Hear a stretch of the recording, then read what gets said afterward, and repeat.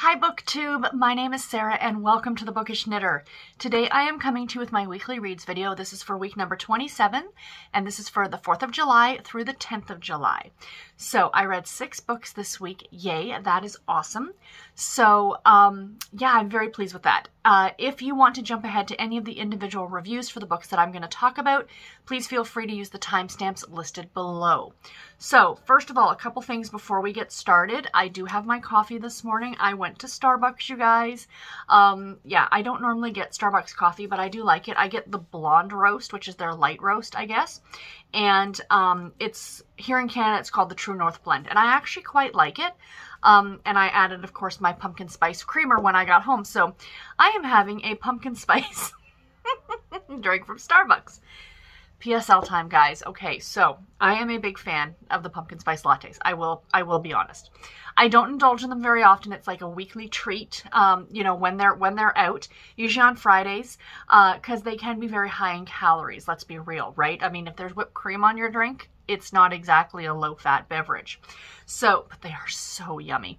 So anyway, um, I find though, I'm going to complain, they come out too early. And I know people are like, shush, they're delicious. They should be out all year round. But no, there's something about them that is, it's fall. When the PSLs come out, pumpkin spice lattes come out, it's fall. And I think last year they brought them out at the end of August. And even like I joked, like I have pumpkin spice creamer that I found in the grocery store. I still, like, I bought it because it's there, but I still feel it's too soon. Like, I just find that commercially, the holidays get rushed so much. Like, we barely are out of summer, and all of a sudden they're pushing stuff for like the late fall. Like, for me, the pumpkin spice latte should come out like late September, you know, and then be out in October, November, and then like mid November bring out the Christmas stuff. And I feel the same about Christmas. I feel like the second the Halloween decorations come down, suddenly it's Christmas all over the place and it just feels like a rush and then by the time you get to the holiday itself you're like you're over it. You know what i mean?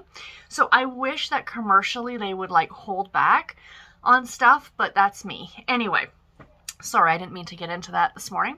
Um, so a couple things before I jump into what I read this week. I do have a few things to show you guys. I'll get into that in just a second. But for one thing, just in case you're curious, for those of you who did not watch my Friday reads, just because you're you might be wondering, I am wearing a Holter monitor. So that's what you can see here. I do have shirts that come up higher and I could have, but I, I, I this is looser because I wanted that because this is it doesn't hurt at all. It's just like a giant sticker with this like little device stuck on it that I've got to wear until Monday around lunchtime. So on Monday around lunchtime, I get to take it off. But I'm just to the point now where the sticker itself is getting very, very itchy. So I, the looser shirt, the better because it's more comfortable. So in case you're curious, that's what that is. There's nothing wrong. They're just checking my heart rate. They're checking you know, uh, my arrhythmia, you know, because I always have weird beats all the time. Um, and it's just routine. There's nothing wrong.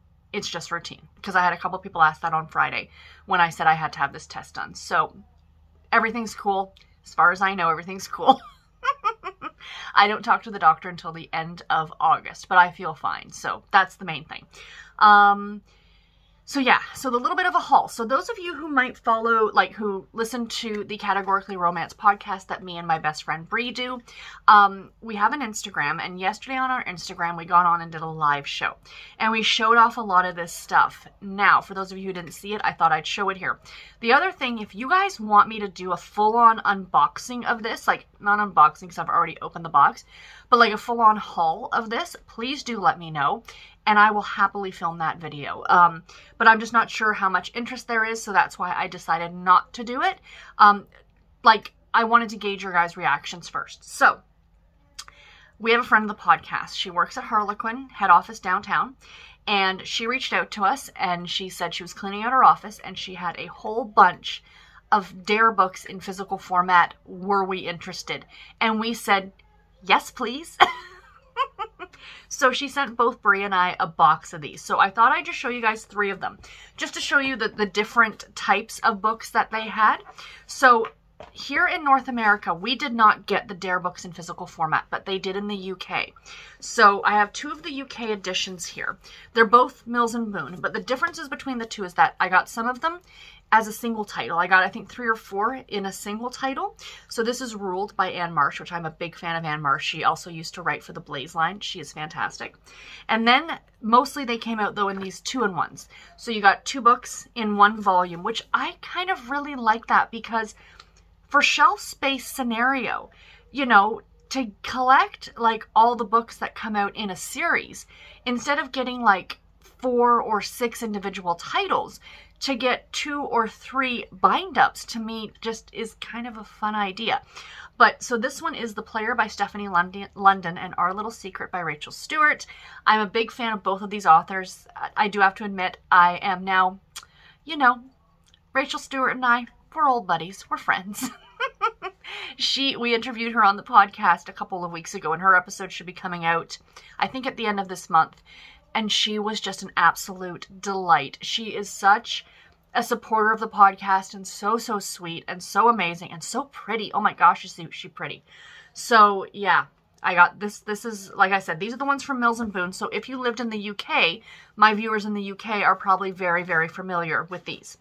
Now, here in North America, we did not get the Dare books in physical format. We only got them as ebooks. However, they did produce them in physical format, I think for promotional purposes, I'm guessing, because there's no ISBN number on the back, no, eh, you know, it, typically in the back of books, there's no ads, there's no, like, you know what I mean? Like, usually there would be ads or something like that in the back. Um, let me see for, yeah, just to show you guys, like, the difference. Like, so, see the back of these, you're getting ads, and they don't have that here. But I did get about 10 of these and I am thrilled because like I said these were not available in physical format to us here in North America. So this is the North American this is what the ebook would have looked like the cover. Um, and I've actually read this one which is why I'm showing it to you guys. This is Her Guilty Secret by Clare Connelly. This was really good. I believe it was a boss employee type romance and it takes place in London. Um, and I really enjoyed it. Like this I think was one of my first Dare novels and I really did enjoy it. So, you know, it's funny, like, I'm like, oh, Dare isn't really my thing, but then I read them and I really like them. So it's just me, I think. I need to get over myself. And now that I've got a box of these, I guarantee you I'm going to be reading as many as I can. So yeah, so that was very, very nice of her to send our way. And then she sent us some swag. I have to say, I'm so excited.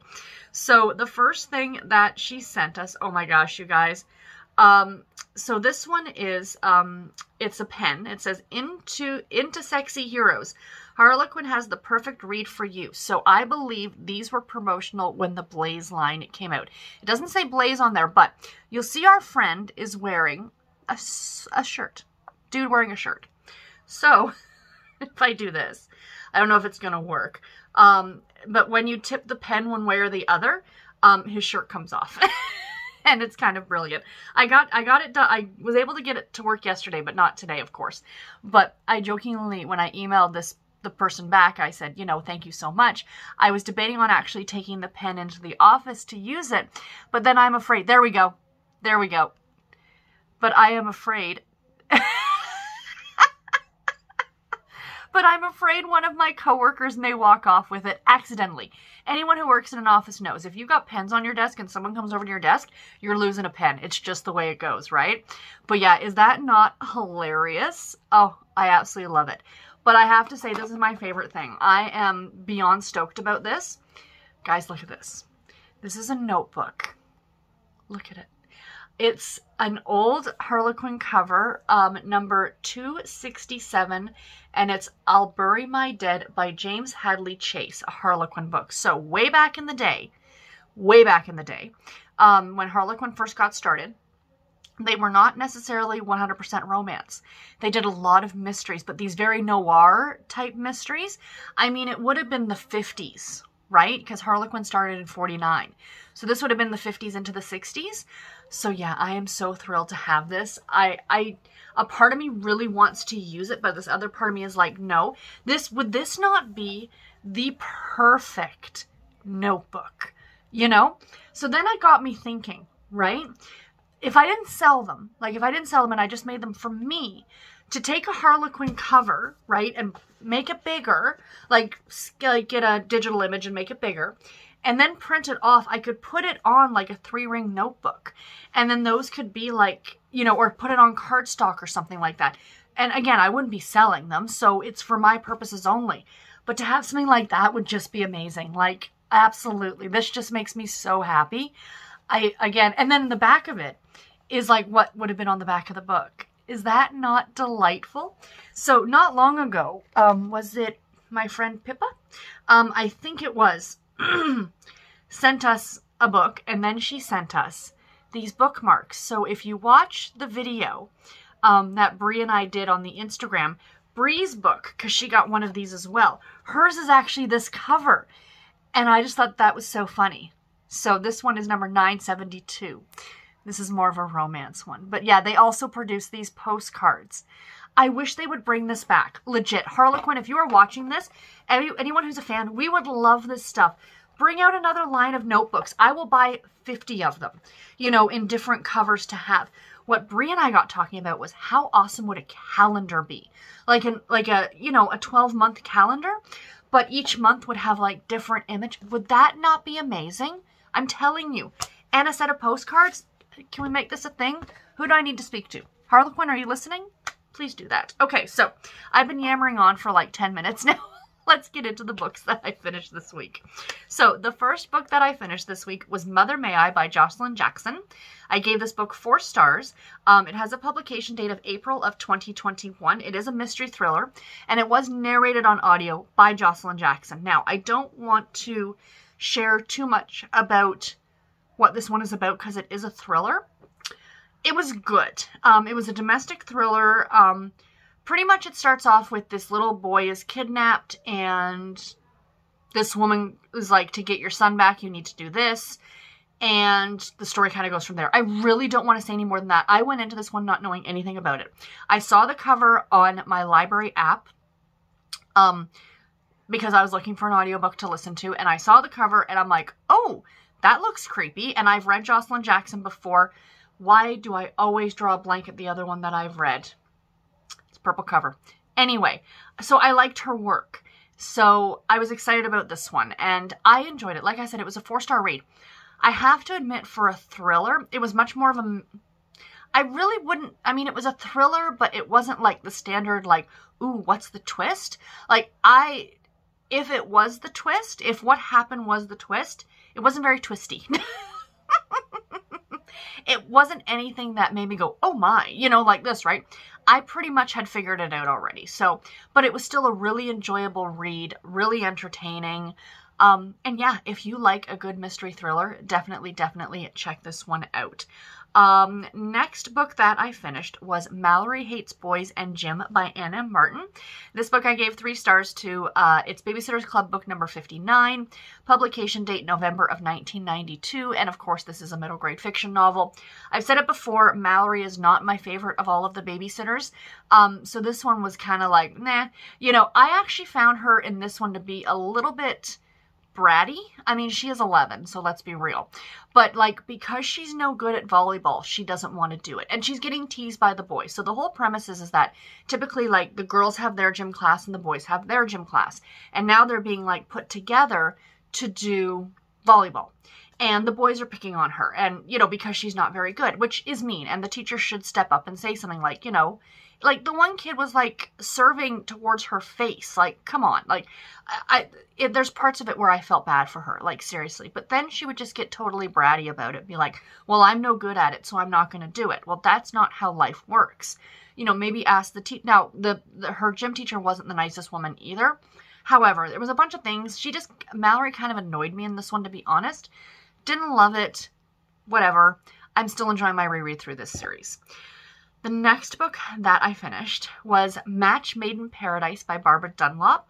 This book I gave four, four stars to as well. Um, this is a NetGalley read, so thank you very much to Berkley for sending me an eARC copy of this one to read and review. Book number one in the Paradise Alaska series. This one has a publication date May 2021. It is a contemporary romance novel, and on audio, it was narrated by Donnabella Mortel. So I did get this one on audio from my library. This was so good, you guys. This was so, so good. So this is about a woman by the name of Mia. And when she was like 18 or 19, she was a model. She was doing modeling. And she doesn't have any family. I think her parents both passed away. So this much older man named Alistair takes her under his wing. And he is he owns like this fashion house, very, very, very well known, lots of money, very influential, that kind of a person. She's kind of an up and coming model. So it starts off where like he's her mentor and then they fall in love and he's divorced. He's got two grown children. His kids are either two years younger or two years older than Mia. I think it's younger, I think. So anyway, so they were married for a good number of years. Now, then he died. Now, when he died, he was 50 and she was, I think, 28. So it's what? 22 year age gap? Am I doing the math on that one right? 40, 40 to 50, 32? 50 minus 28. 22 right? Yeah, 22. So it's a 22 year age difference. So this is this all happens at the beginning of the book. So she of course is upset that her husband has passed away, but it's stated several times in the book that towards the end, like the last number of years, it was much more of a caregiver situation with her with her husband because he had a heart condition and that's what how he died. So then there's this whole thing with the fact that he left her the clothing empire and his kids are a little miffed about that. So all this stuff starts. She ends up going to go see her cousin in this small town in central Alaska, which is where the story takes place. She meets a guy named Silas. He's a bush pilot, and romance ensues from there. And I really like this one. My biggest thing was the fact that they kept repeating over and over and over again how her marriage to Alistair you know, started as a mentor thing. Then eventually they, you know, became lovers.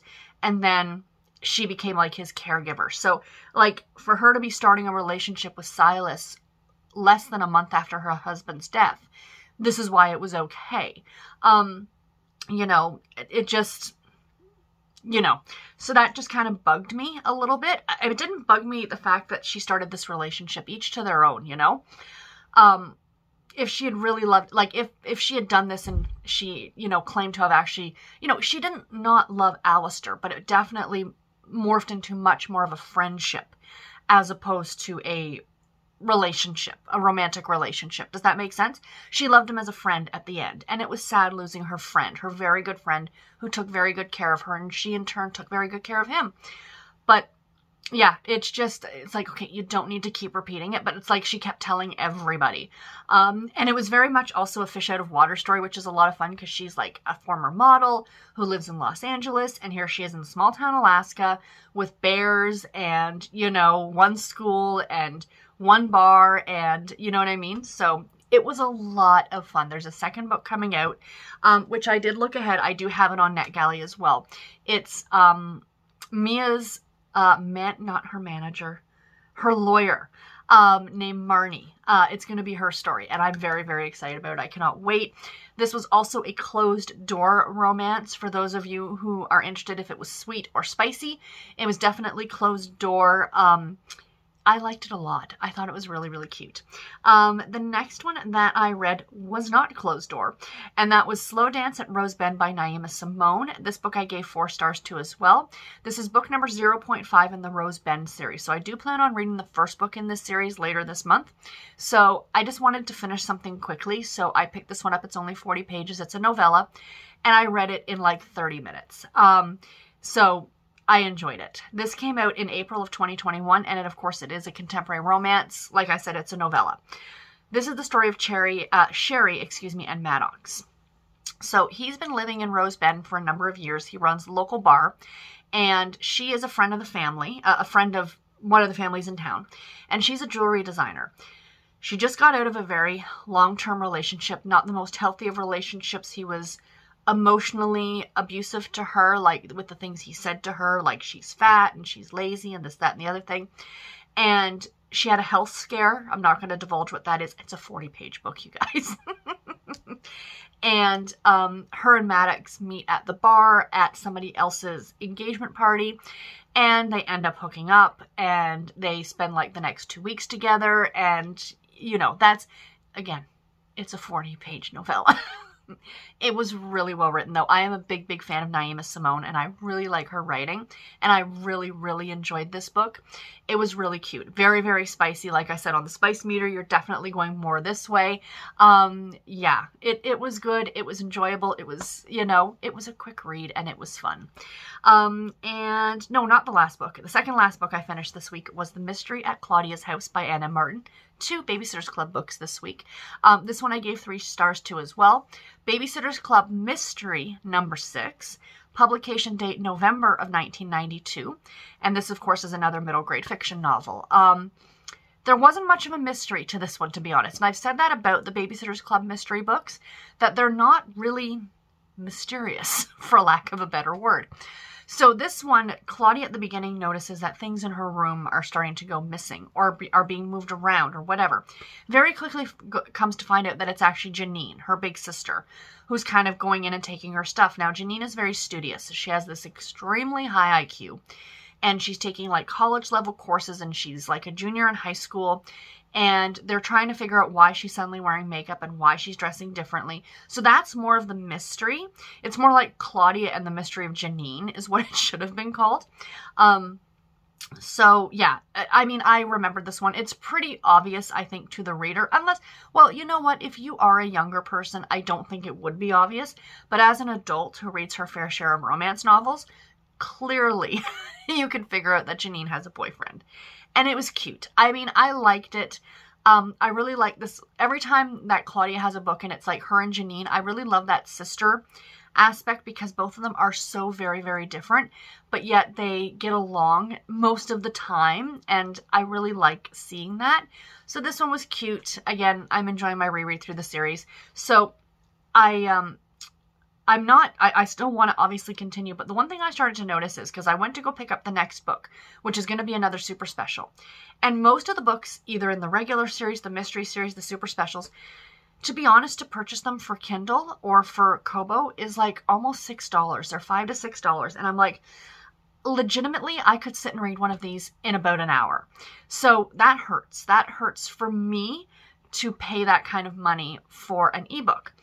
Um, so my library has all of them. So going forward, I'm going to be dipping in and out of Nancy Drew and Sweet Valley because Nancy Drew is available on Scribd and the Sweet Valley books, except for the first 12, are all available on Kindle Unlimited. So I'll be dipping in and out of those as well. Um, waiting for my holds on the next Babysitters Club books to come out, essentially, or to come in. So that's pretty much what's going to be happening going forward. So you'll be seeing me reading, like I said, Nancy Drew and some Sweet Valley, which will be fun. Um, I have some um, in the fall up here, right there on that, because that top shelf is like my back to my childhood shelf. Um, in the fall, I think in October, I have four books by Christopher Pike. Anyone else who's of a certain age, um, who, you know, was reading those Fear Street type books back in the 80s and 90s, you might remember Christopher Pike. I loved his work, and I came across four of them at a thrift store a number of months ago, and I've been holding on to them to read in October. So those are the ones that are going to be the ones that get read in the spooky season because they are spooky books. So I'm looking forward to those. So it'll be nice to kind of gravitate away a bit from the Babysitters Club stuff and delve back into some of the other books that I read when I was uh, growing up. And the last book that I finished this week, you guys, this was so, so, so good. Oh my gosh, was The Marriage Game by Sara uh, Des, uh, oh goodness, Desi? Desi, I think it's Sara Desi. So this book I gave four and a half stars to. This is book number one in the Marriage Game series, publication date of June of 2020. This is a contemporary romance, and it was narrated on audio by Sunil, uh, uh, Soneela uh, Nankani. Oh my gosh. So originally my plan had been to read the second book in the series, The Dating Plan, by the same author. And I have that one from NetGalley, and my library had a copy, and I was like, on audio, and I'm like, great, I will listen to the audiobook. And then I realized, oh, it's a second in a series. And normally I'm not one to care if I read books out of order, but I looked and the library had this one available. I'm like, all right, let's listen to this one and then I'll read the the dating plan next month, right? So I picked this one up and am I ever glad I did. Oh my gosh, oh my gosh, oh my gosh. So this is the story of Layla and Sam. And Layla uh, just suffered a very, very bad breakup. She was living in New York City. She was dating a guy who was like a YouTube celebrity. They had an epic breakup. It was caught on video of her like throwing his stuff off the balcony. And she ended up losing her apartment, her job, her boyfriend, like all in the same go. So she ends up flying home from New York back to San Francisco. Um, her parents own an Indian restaurant. So she's looking to get her life back on track. And she when she was in New York, she worked at like a recruitment center, like um, to help people find jobs. So she decided to branch out on her own and start her own employment agency, essentially.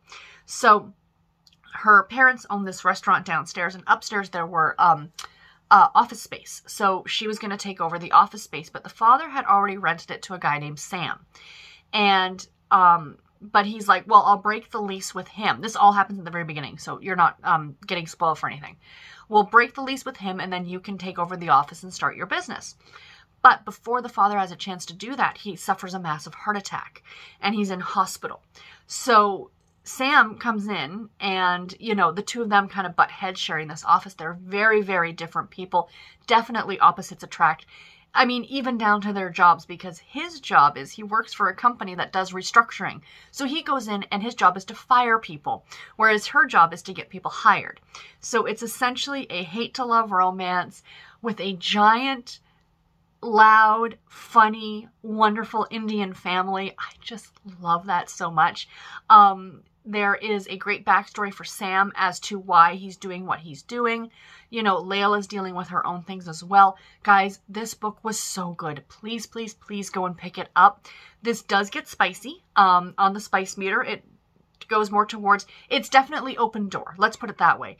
It's not fire, like it's not real spicy, but it does, it is open door. If you wanted me to compare it to another author, I would say it's along the way of Jill Shalvis's type of spice.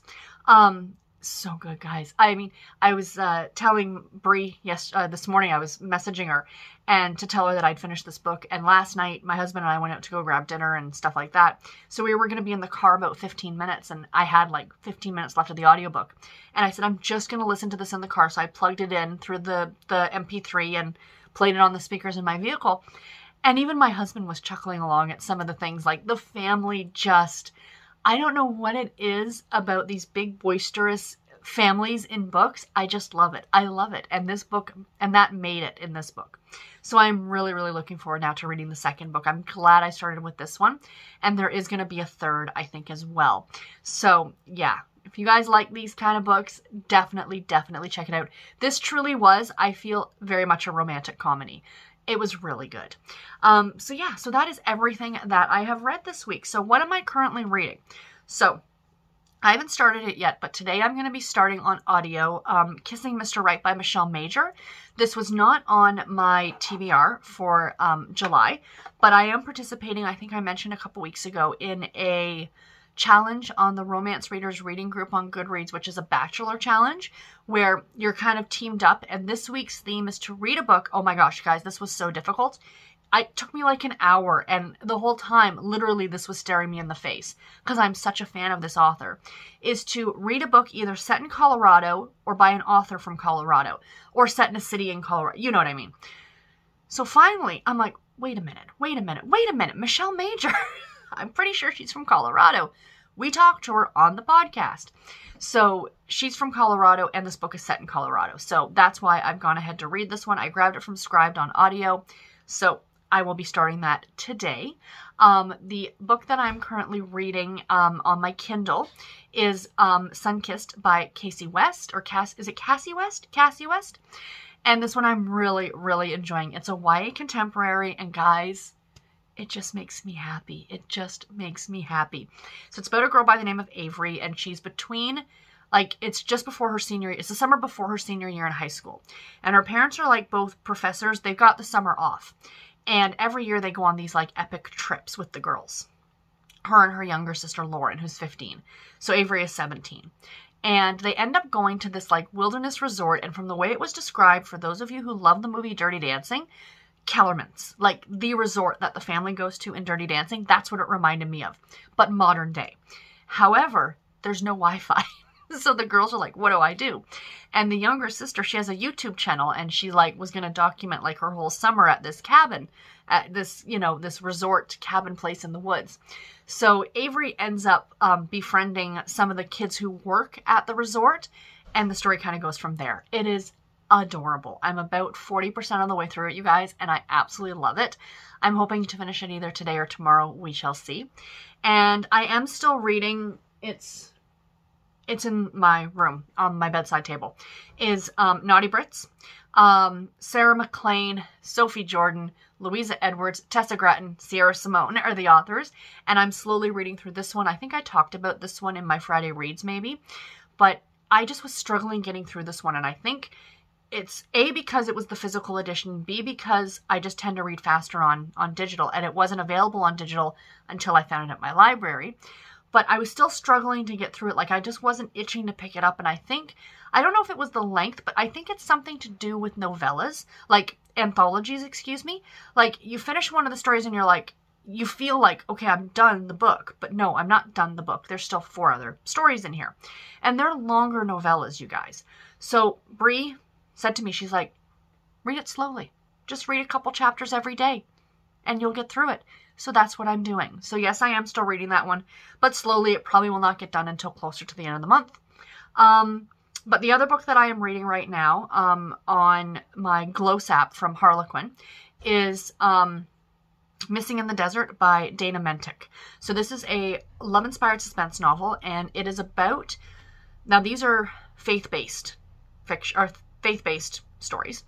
And um, our main character, I think her name is Mara, um, her sister 16 years earlier, or she was 16 when she went missing. I can't remember.